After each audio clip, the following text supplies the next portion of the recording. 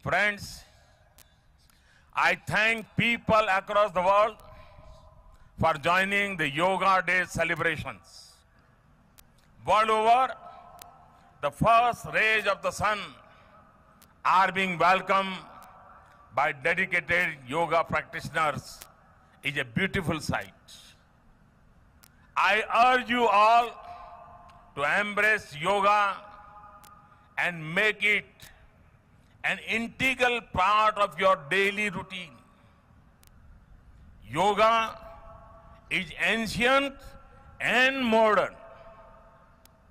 It is constant and evolving. For centuries, the essence of yoga has remained the same.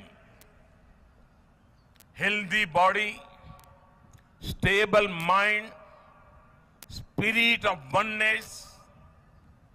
Yoga provides a perfect blend of jnana or knowledge, karma or work, and bhakti or devotion. Yoga will make every individual better in thoughts, action, and spirit. Friends, the importance of practicing yoga is greater than perhaps ever before.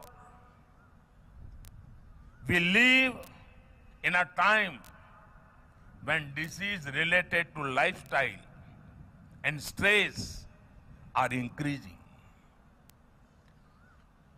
This comes with the fast routines and pressures at the workplace.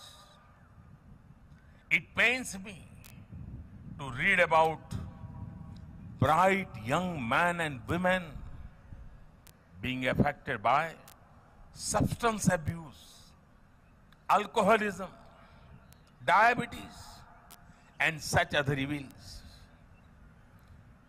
Yoga offers a solution to these problems. Yoga also furthers unity among people and in our society. This can heal several challenges that our world faces. Friends, peace, harmony have always been associated with yoga.